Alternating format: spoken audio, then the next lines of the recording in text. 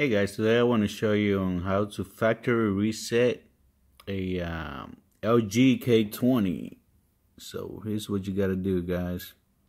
You got to press and hold the power button in the back. I mean press and hold the volume button up and the power button in the back.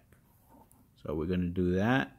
Volume button up and power button right now. Alright. When you see the logo, you let go the power button for just a second and use the volume button down to move it to yes. You're going to move it to yes and select with the power button.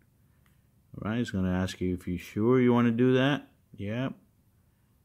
And you're going to click yes and select with the power button again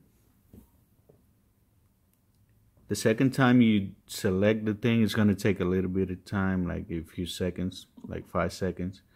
So um, that's basically what you got to do. Um, I'm gonna let it boot up so you can see the whole process but and I'm gonna uh, post a, a um, another video on how to remove the Google account from uh, the same phone so if you're looking for that uh, check my other video out it's gonna have that name how to remove the Google account from a uh, LG 20, uh, V20 so uh, check it out guys when you get a chance.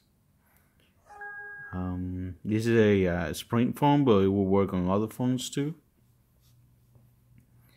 So let's wait. This would take um, a little bit of time but that's basically what you got to do guys. I mean the, the, the setup the setup wizard. I'm sure you know how to do it. If you don't have a Google account on it, uh, that's fine. If you do, just check out my other video on uh, how to bypass the Google account on a, a LG V20. And uh, don't forget to su subscribe. And um, if you like, uh, give me a thumbs up. That would be great too. And um, if you want me to do a um, Google bypass on any other phones, just uh, let me know in the comments. Um, I will try to get the phone and do the Google bypass on it for you guys. So thank you and see you next time.